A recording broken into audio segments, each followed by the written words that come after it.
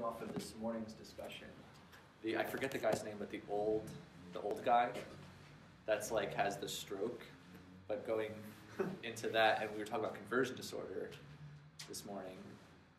Could there be a component of that if he didn't actually have a stroke and he's, you know, sometimes able like when when she's doing like that voodoo stuff, like he's able to speak again once he's like, you know, has some sort of psychological aspect to his stroke stroke symptoms. I think that's kind of interesting.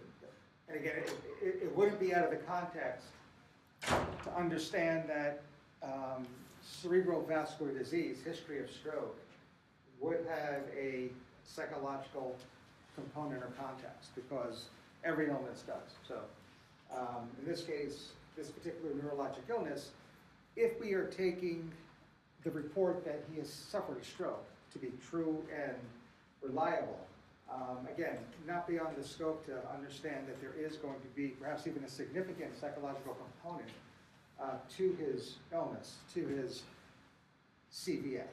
Uh, now, on the other hand, if a neurologist were part of this movie and understood or provided the medical opinion that what we are seeing is not due to the effects of the stroke. Again, maybe the vascular distribution is just different than what the CT or MRI showed. Uh, then there might be more going on. That is, in terms of this particular psychosomatic illness, the somatic component doesn't appear to jive. And therefore, the psychological component is likely more influential in this particular person's presentation. Right? So, um, how comfortable are we in understanding? Well, I know the ending is the ending. How comfortable are we in understanding that he did not, in fact, did not suffer a stroke? Where's, what's our opinion? What's your opinion? Well, I thought like an interesting concept. Like I, it was my impression that he was given this like poison almost that like like you know he was like given poison like every day or whatever. Um, but Caroline, like the nurse, I think her perspective in terms of like the voodoo stuff was like the like how much she believes it. And I remember the, like one scene where she's uh, like after she goes to the laundromat, she goes and she says like, oh, if you believe like in the voodoo stuff, then you know, like if you believe that the voodoo is the cause of your symptoms, then like by that same logic, if you believe that the like treatment of voodoo like should also work in theory. So it's kind of like if you believe that this is the cause of your symptoms, then the, the treatment should work by the same. Like the treatment should be. Oh, great. Non-medical voodoo treatment should work. Mm-hmm. So we're going to um, we're going to expand upon this, I think, significantly so in just a little bit, uh, and that is this role that's uh, root work or spells or hoodoo is playing in this particular patient slash character's presentation. Um, absolutely, and that's going to be a primary focus of what we're about to get into. Any other thoughts here about his quote unquote stroke?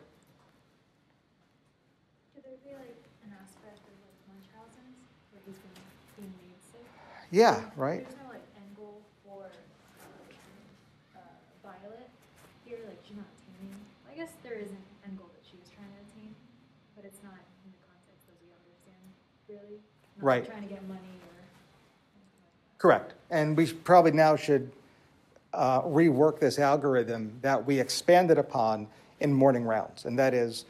When a patient presents to you with any chief complaint, in this case, perhaps dysarthria, we'll, we'll take a symptom from our fictional patient. Um, I think the first step is to acknowledge that this gentleman is suffering from a psychosomatic illness. Uh, we're not saying anything groundbreaking here, since every single illness ever described has both psychological and somatic components. Every illness is psychosomatic, so not that big of a stretch here. On the other hand, if upon, in this case, a neurological workup, including CT scan, there does not appear to be any somatic component to his presentation. The only thing we can do as a practitioner to help our patient then is to really focus on the psychological determinants of behavior. If the somatic part of psychosomatic is not helping us out, the only thing that might would be the psychological aspect. At this point of our clinical reasoning, the term psychogenic is often used. So, from the focus or from the perspective of a psychogenic illness, a psychogenic illness is any illness that is any psychosomatic illness for which the somatic component really has not been discovered. That's it. So, is it Ben? Ben, right? Uh, ben seems to, uh, at least in terms of the information provided us through the script of Skeleton Key, be suffering from a psychogenic illness. Right? Brief pause. Any questions about kind of the algorithm we're working here? We're, we're okay. In this step, and this is not something you would necessarily actually say to a patient, but you're going to ask yourself is there any evidence that our patient is lying? Because if the answer is no, we're going to shift in one direction, but if our answer is yes, we're going to shift in a completely opposite direction. So, yes or no? Do we think Ben is lying to us? No. No, there's no evidence. And with no evidence of a lie, the baseline should always be that they are not lying. So, you will never walk out of a room, look your attending in the eye, and say, Dr. T, I think he's lying. That's not, that's not going to be the case in clinical medicine. We always work from a position that the patient never lies until it's discovered that they are. And if there's nothing in this script, if there's nothing in Ben's behavior suggesting or even confirming a lie, then he's not. If there is no lie in place here, then we have to consider this to be um, his reality, his experience, and therefore our differential will include somatic symptom disorder as well as conversion disorder. And it's one or the other depending on what symptoms Ben has. If it's voluntary motor or sensory function, we're going to call it conversion. If it is anything else, we're going to call it somatic symptom disorder. So at this point, what do we think is going on? Conversion. Yeah, I don't think you really, I don't think there's any other symptoms. I agree. So this looks to be a case of conversion disorder. One final piece to the puzzle here, and that is when we think about people trying to con- or making a conscious effort to deceive us, we have to expand beyond the patient themselves. Caregivers. Is there any evidence of a lie here? Yeah. There is. So even though conversion is a provisional diagnosis, we have to now explore that other part of the algorithm where the patient or others are intentionally misrepresenting the symptoms. In this case, unbeknownst to Ben himself. Right? And that's the role of, is it Virginia? Violet. Violet. Violet, I'm sorry. When we look at Vi- uh, Violet's behavior, we have to think this may be a form of factitious or malingering. There's our differential. The two quote unquote lie syndromes are factitious disorder and malingering. Now, malingering is no longer in the DSM. However, it's still a clinical term very often used to describe deceitful behavior. But then again, factitious disorder, which still is classified in the DSM, is also um, deceitful behavior. What differentiates one from the other? Intent, right? What the motivation is. So, what's the motivation or intent? And the, the clinical term we hear uh, th- that is synonymous to all of this is called gain. G A I N. Motivation, intent, gain. Uh, gain is the clinical term.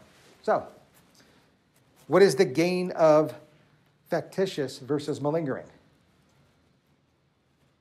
Sick role versus external gain. Exactly right. Internal or subconscious versus that conscious effort to deceive slash external. That's it. Again, baseline, we always consider to be an internal conflict. For example, the sick role, until proven otherwise. Again, I don't care what you feel towards your patient, I don't care what your suspicions are unless you have evidence of some kind of external incentive, it's not going to be malingering uh, until it's proven that it is. Is there any evidence that there is some external incentive for Violet? Uh, I mean, my, loose understanding of the plot is that she needs to keep these bodies around so that she can stay alive forever. so I think that's her game. Immortality is a game here. Yeah.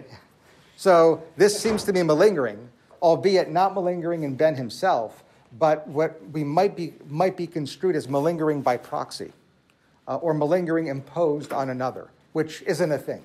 Not, uh, not in medicine anyway. The legal system, law enforcement, absolutely. But that would be the working quote unquote diagnosis, even though it's not a real diagnosis, and that Violet is malingering by proxy or as imposed on another, specifically Ben. Uh, and that's the algorithm here. Questions about how we kind of sifted through Ben's ailment? We're good?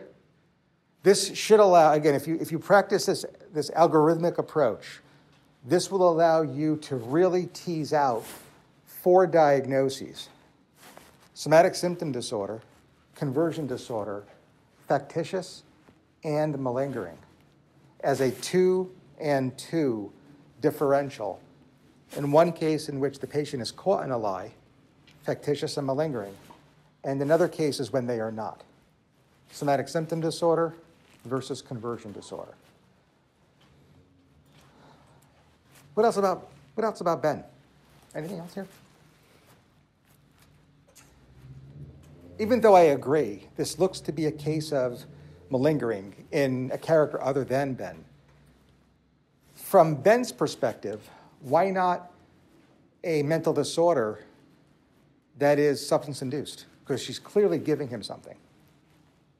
Right? So that, that might be another way to think this, albeit through Ben's perspective. That is a substance induced, perhaps cognitive disorder, or perhaps even psychotic disorder, inasmuch as we might interpret his difficulty communicating as a sign of psychosis. So that's another consideration here.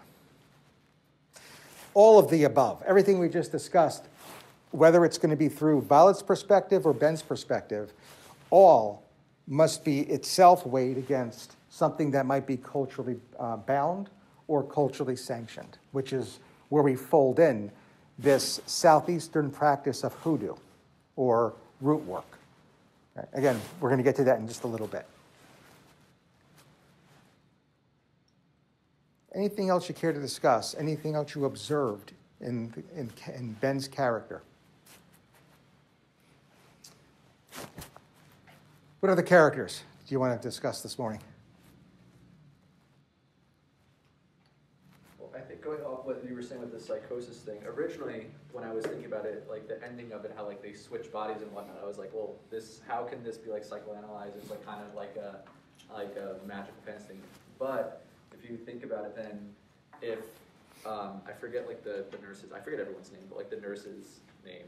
Um, Caroline? Caroline, yeah. If she, like, they didn't actually switch bodies, but if there is like some psychosis going on where they're believing into this that they switch bodies, and then she takes on like a new personality. Like, I don't know what disorder that exactly is. Let's talk about that. Yeah, that's something interesting. So, Caroline presents to you with a chief complaint of a feeling of depersonalization, that subjective sense that she is not quite herself. Um, this is, that is, this clinical term is contrasted to derealization, the subjective sense that your immediate surroundings are unreal in some way.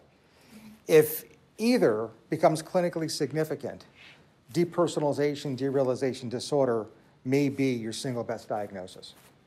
Right? So that's her chief complaint. When you ask her, which I hope you will, tell me more, she then discloses to you the plot of Skeleton Key, that she is really not in possession of her own body. Uh, instead, it's a slave from the 1800s.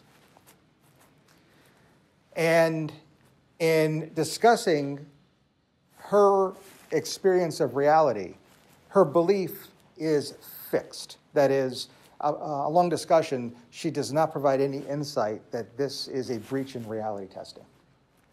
What clinical term now might apply to Caroline's thinking? Psychosis? Psychosis in general, and what clinical term within psychosis in particular? Delusion? Exactly right.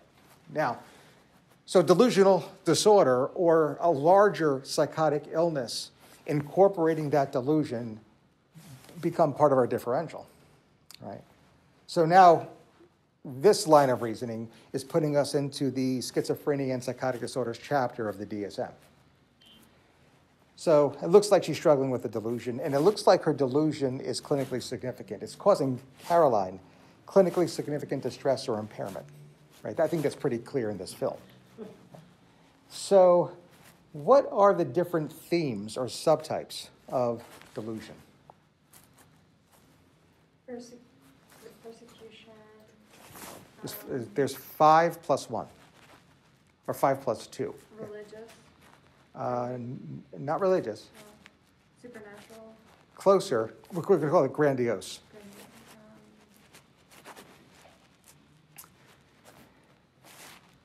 So the acronym is JPEGs jealous, persecutory, erotomanic, grandiose, and somatic. Um, all are fairly self explanatory. What is erotomanic? What's the erotomanic delusion? that someone's in love with you. Like that, then, then, the, like the stalking a celebrity is the one that's commonly associated with it, right? Exactly right. Uh, which is not depicted in this particular film, this particular fictional case study, but it's the one that sometimes you have to kind of pause and think through. I think the others, um, jealous versus grandiose, etc., are relatively straightforward. Okay. Um, again, we're talking and we're focusing now on uh, Caroline. Uh, by the way, sometimes our patient's behavior simply doesn't fit into one of these artificial categories. If not, we call that unspecified. And sometimes they actually overlap, we, uh, so mixed. So those are the, that's the plus two. But I think that's intuitive. It's unlikely you're going to really see either of those terms on your shelf exam. On the other hand, you might be presented with an unspecified delusional disorder in your clinical vignette, but instead of seeing delusional disorder, comma, unspecified, answer A, for example, you might actually get another term altogether because these unspecified forms usually take the name of the individual, usually neurologists, that originally described them. There are three very common examples rare disorders, but common test questions. What are those three conditions? Three forms or three examples of unspecified delusional disorder having taken proper names. Good. What is the Capgras syndrome, often referred to as the Capgras syndrome?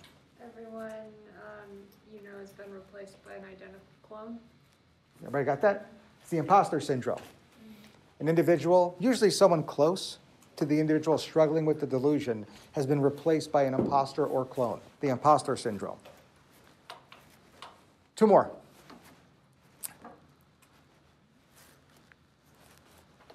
What is the Cotard syndrome? C O T A R D, Cotard. Is that the opposite where you think you've been replaced or something's not real? Very close. Been replaced, more specifically, you believe you or part of you is dying or is dead. Cotard syndrome. And the last one is the Fregoli syndrome. Fregoli. Fregoli is a variant of Capgras, where the individual believes another person has the ability to shapeshift and can take the guise of others. Right? Fregoli. I do not think Caroline demonstrates the Fregoli or Capgras.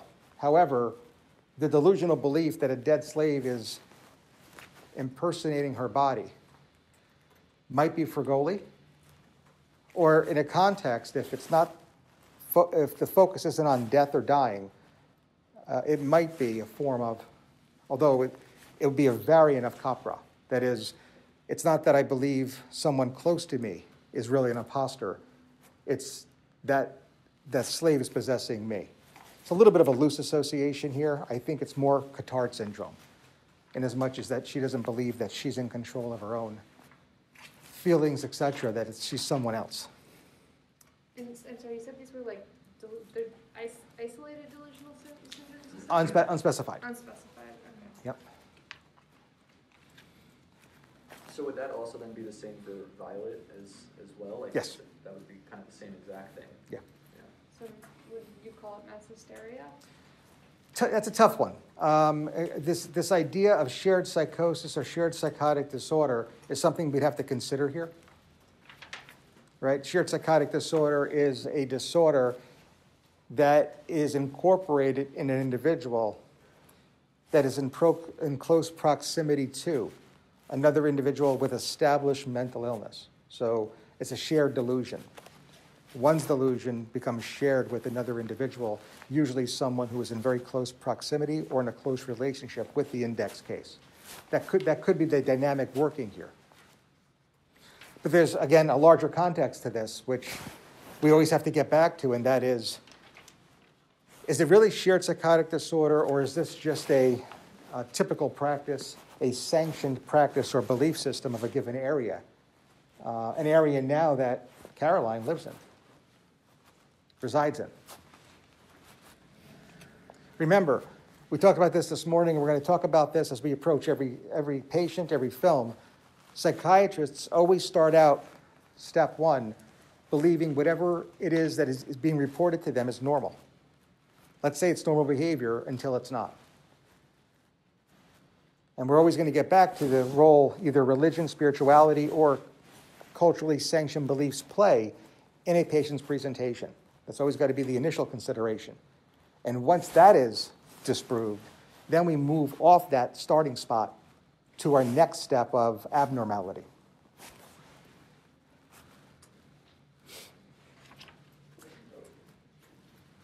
Going back to what we were talking about earlier, how do you assess gain in the settings of like delusions or psychosis where like someone might, in their own perspective, think this is like an external gain, but if it's because of a delusion, is that from our outside perspective, is that something considered internal or because, or do we judge it from their perspective where it's external to them? Yeah. That, I don't know if that makes sense. Yeah, yeah. So when assessing gain, when as clinicians we are trying to d- deduce what motivates human behavior, in this case, what is motivating abnormal human behavior, uh, the idea here is that it's always internal. There's something always that is internal that is being satisfied, and therefore the gain is always um, of primary or secondary gain. Right? Primary and secondary are both internal or subconscious gain. Um, we don't actually say that the patient is being manipulative and is lying to us for external reasons until that external source is discovered. So until we see that there's a multi-million dollar lawsuit for a workman's comp claim, we, we, don't, we don't gravitate to that external incentive. Uh, irrespective of how much we might suspect one exists, until its discovery, we always give our patients the benefit of the doubt. So it's, it's a practice of just the way I think doctors in general should be advocating for their patients. So it's always in, so first of all, your patient is never lying until they are. And the motivation or gain of that lie is always internal or subconscious until it's not. That's just a way to practice medicine, right? And you know, if you did it, if, if you actually applied that here, um, I understand that if you were a physician, if somehow a physician was written into the script of Skeleton Key, it may have, that line of reasoning, albeit patient centric, may have put blinders on you that could have resulted in your death in this movie. If you didn't suspect, right, Violet the whole time. But so what? The physician doesn't make it. At least they're ethical, right? They'd be a hero in this movie, uh, at least from our perspective. Uh, so um, there, there is some risk to it, but keeping your patient, uh, keeping it patient centric uh, is really the way I, you know, you have to be trained to think. Uh, horror movies, it doesn't always work out for the physician. So be it. Other thoughts here? Other characters you want to discuss? So I think the idea of a, you know, a quote unquote shared hysteria, group hysteria, uh, more specific, shared psychotic, uh, shared psychotic disorder also um, expands to our lawyer as well, right? Um, I mean, all three sitting in the room would tell us that they are not who we they appear to be, right? So there might be an element of psychosis with him as well. Uh, I don't know. I mean, he's very manipulative, um, and again, So let me ask you, um, when either, and I'll, I'll, I'll leave the choice up to you, when either um, watching, observing Violet or is it Mr. Devereaux? How do they make you feel? The, uh, the- the lawyer and Violet, did you like them? How did they make you feel? Anybody want to share? And uh, again, I want you to be honest. I don't want you to say, "Oh, well, at the end of the movie, dot dot dot." I, I mean, you know, beginning beginning of the movie as the plot unfolds. How did they make you feel? Well, the, sorry, the lawyer, you know, I mean, he, he least, he appears to be a confidant, you know, or someone you could trust for most of the movie. Uh, Violet or the, you know, the wife, I mean, she, she comes across as a little bit suspicious throughout the movie, at least to me. So she came, out- she came across as suspicious. How did she make you feel? Uh, like she, well, like she had something to hide. I mean, you know, from, from the beginning, she said, you know, don't go up in the attic, don't go up in this room. There was just kind of always a sense of there's something she was withholding, So I felt blank. Fill in the blank. Uh, mistrusting. Mistrusting. I felt Yeah, mistrusting. I guess watching from Caroline's perspective, unwelcome to the house. well, Caroline's perspective, your perspective. I want to know how you She feel. host- I mean, she seemed hostile. She, she, okay, she was hostile. How did it make you feel? So, but and we we talked about this before. The most difficult question medical students will ever be asked, and the most difficult question they struggle with the most, is how does it make you feel? I mean, these guys are like you know 80, 90th percentile on national board exams. They can answer any question except that one, right? It's like pulling teeth, getting a person to to tell me how they feel. Right? How do you feel? I try not to have feelings. Clearly. I worked, I worked, I worked, I at Wall Street for 10 years. I have Fair enough. Anyway. That's good. You got me there. Anybody here going into psychiatry?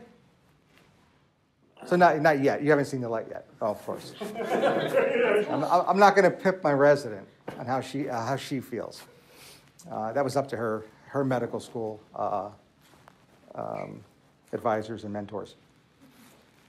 Um, they creep me out, right? I mean, um, Virginia, uh, sorry, I keep calling Virginia. Violet made me anxious. She, she really made me anxious. I, I, was, I was identifying with Caroline. Uh, I was certainly, again, identification here is a defense mechanism, uh, but it's also that normal reaction that we usually have when we pay $50 to go see a movie. We become the character for those two hours. It's, it's a magical moment, it's identification. Um, so um, she pushed my buttons. Uh, there's a voice in the back of my head that kept on saying, get out. And it didn't help that Caroline was from New Jersey, right? This is no place for a little, a nice New Jersey resident. Get out. So anxiety, anxiety was very heightened here. And by the way, uh, that was a, that was a shared feeling toward the lawyer too. Um, uh, I was very distrusting of him as well. He made me feel anxious. I was frightened. Absolutely. Um, that's called countertransference, right? When in psychiatry, when we have these quote unquote negative feelings conjured in us, it tells us something about the person sitting across from us more than it does ourselves. There's a reason why they're pushing our buttons. Now, this might prompt us to investigate an external incentive. This, this might be our warning sign. This may be that red flag that says that we should search for an external incentive because I think they're lying, and there might be an external gain to this. There might be an actual external conscious incentive. Now, if you took that line of reasoning and investigated, you would have found out, maybe even before the end of this movie and those mirrors were set the way they were, that immortality was on the line, meaning my, my life was on the line. But if you missed that countertransference, then you missed examining that, and you may have been in the exact same situation as Caroline at the end of this movie, and I'm sorry for your loss.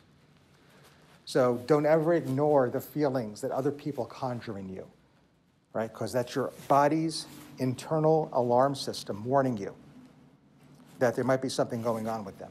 It's called countertransference. And it, it's not only, uh, or it not only occurs in real life, but it occurs while you watch fictional lives as well in film. How did it make you feel? It's a very common question you should ask yourself. I wouldn't do it with the people you're watching the film with, right? After the fact, it's going to get you to watch a lot of films alone in your life if you did that. But very important question nonetheless. Thoughts or questions about any of these characters?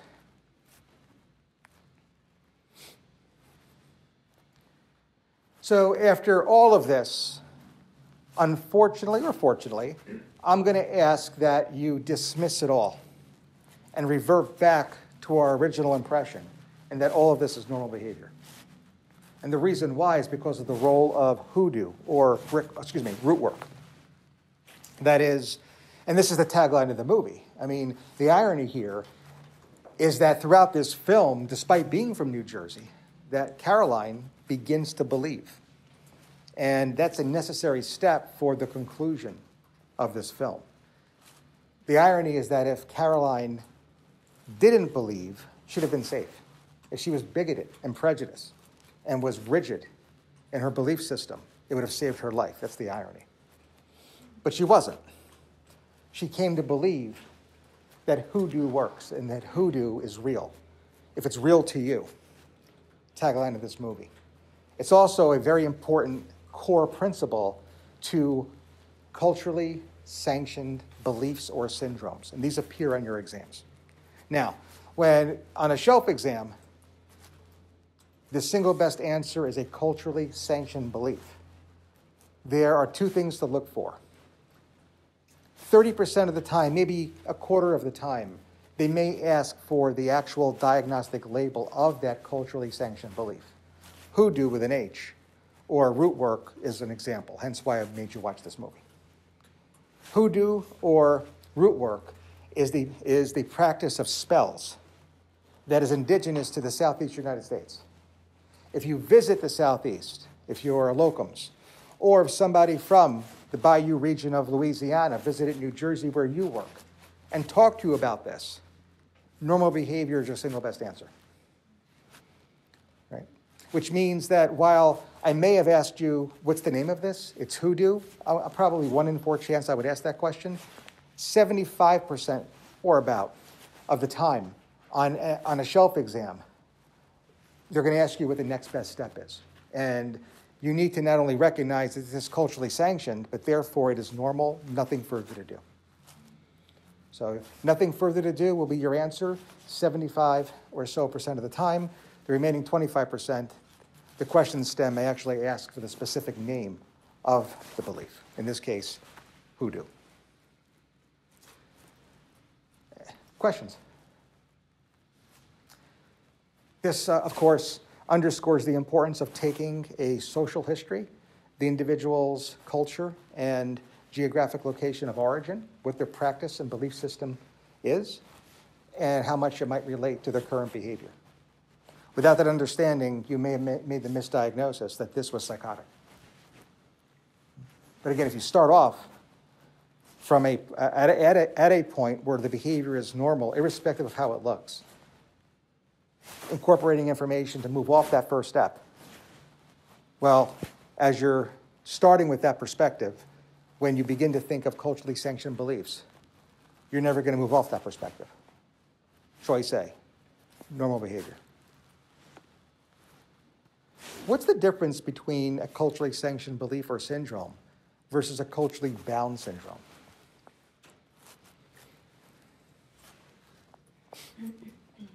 culturally bound like only occurs in certain contexts, whereas the other would be like something that comes from that culture but can apply to aspects of their life that are outside of it. Um, somewhat, but I think on, especially on exams, that that is more times than not the common thread. That both situations are usually geographically isolated to a given location or culture. So it really doesn't differentiate the culturally sanctioned belief from the culturally bound syndrome. What does differentiate those two? One is normal, as we just spoke, uh, spoke about. The other is abnormal. So culturally bound syndromes are syndromes that are culturally bound. They are bound to a geographical area or culture. However, within their culture, it is considered to be abnormal behavior.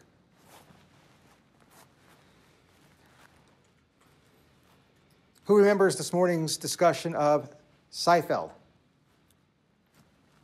What does George do before going to the hospital?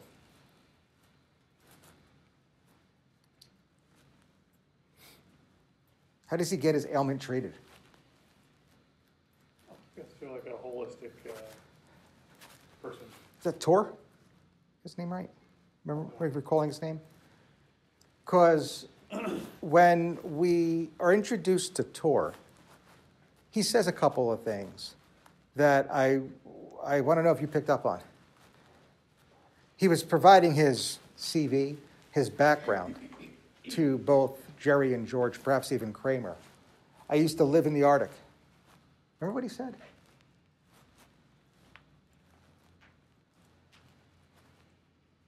No? It was about like. Yeah. What, what, what happened up there? They taught him everything. More? Uh huh. I don't remember. Remember? Again, I'm going to paraphrase. Um, they, they have this behavior where they run outside and they stick their head in the snow. It's right in the script of Seinfeld, right? The heart attack. What was he describing? The answer is a, a culturally bound syndrome that could appear on your shelf. It's called piblokto, otherwise known as Arctic hysteria. If someone from the Inuit tribe traveled and deplaned at Newark Liberty and did the same, well, our snow's gone, but did the same thing, they may end up being transported to APS right, right uh, down the street here. But once on call with me, you took a full history and discovered that they are actually from Alaska, from the Arctic, where this is considered to be completely normal, you would discharge them with nothing further to do. Piblokto, Arctic hysteria, as an example, well, I should say nothing further to do, nothing further to do in the context of, of urgency. This is a culturally bound syndrome that is, even in the Arctic area, it's considered to be abnormal.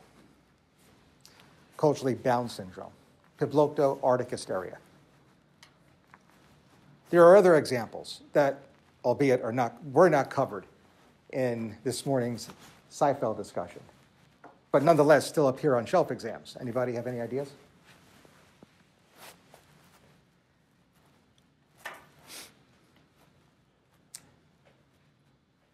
Anybody here ever see the movie Predator? Instant honors right now. Raise that hand. No. Nobody saw Predator? Oh, man. All right. I'll, I'll, I'll go from the closed-ended back to the open-ended, uh, open-ended question. Any other examples you know? Any other clinical labels? Any other diagnoses of culturally bound syndromes you've heard of? Isn't there the one about like wind, wind in, in Arabic, in Arabic culture, it's like ataka, or, or, um, and then like ataka de nervios? Yes. Yeah. Your personal favorite is ataque or I ataque de. Ataque de nervios is uh, indigenous to Central and South America, Latino. It is often described um, along both psychological and somatic complaints, with each being very consistent with what we understand to be a panic attack. Uh, and as a panic attack, the somatic complaints are largely cardiovascular in origin. However, there's one that is often, I think, specific, and when it comes up on shelf, should be the identifier that ataque, nervios is the single best answer, and that is the sensation of heat, starting in the chest, right, cardiovascular, and rising to the head. When you hear that, ataque. There is a variant of this called susto, or I think it's S-U-S-T-O, which is very similar, but exchange out the cardiovascular for the GI. Same locale, same geographic locale, susto. What, again, signs and symptoms of what we would understand to be a panic attack, but exchange out the cardiovascular and insert GI symptoms, and you have susto. Others? Those are, you're saying are culturally bound Yes. syndromes, so they're abnormal in their. Abnormal in um, Latino cultures in Central and South America.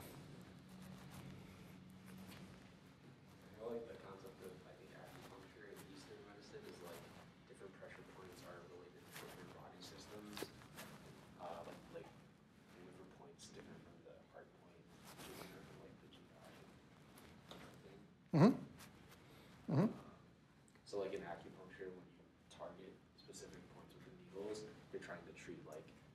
source of energy rather than like, obviously like if you put one in the arm, you're not treating the arm, you're treating like the liver or something.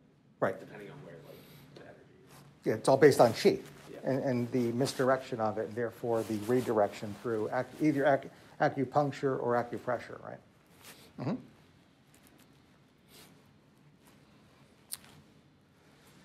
Any others? What's the Dhat syndrome, D-H-A-T? Is that the one in India? Hmm? Where it's something with like your soul and has to do with uh, releasing your sperm Yep. as a male. Yep. So it's the delusional belief of um, you losing your sperm uh, and therefore somehow dying from the inside out. Uh, it- uh, similar belief, albeit outside of India, Koro, C O R O, which is different than Kuru with a U. This is with an O, C O R O. Very similar belief in terms of aspermia, uh, resulting not only dying from the inside, but even more specific, localized to the genitals, retracting and then becoming gangrenous. Any others?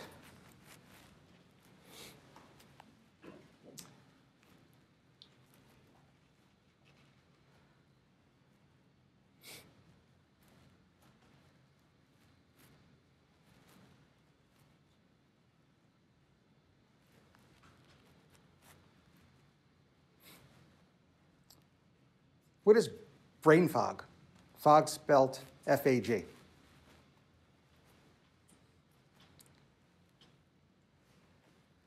Brain fag is usually experienced a cohort of students where they have various symptoms that seem to significantly impact their ability to study.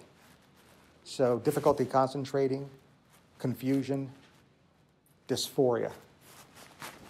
Uh, I believe it's localized to the African continent.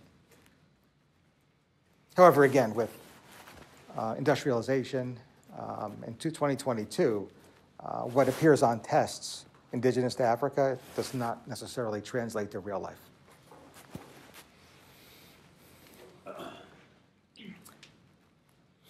Any others?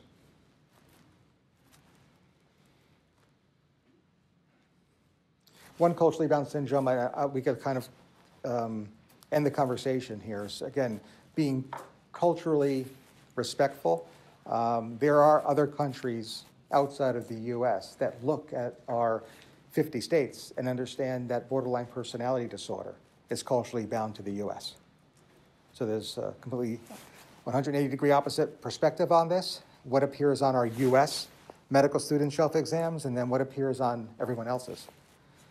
Right, so um, consideration of DID, that's dissociative identity disorder, and borderline personality are culturally bound to the US. Not likely to appear on your exam, uh, but certainly could appear on any international medis- uh, medical student examination. Any final thoughts on our film today, this morning? Skeleton Gate. No, we're good? All right, we'll end it here. Break for lunch. We'll come back with Night's Watch at 12:30. Thank you.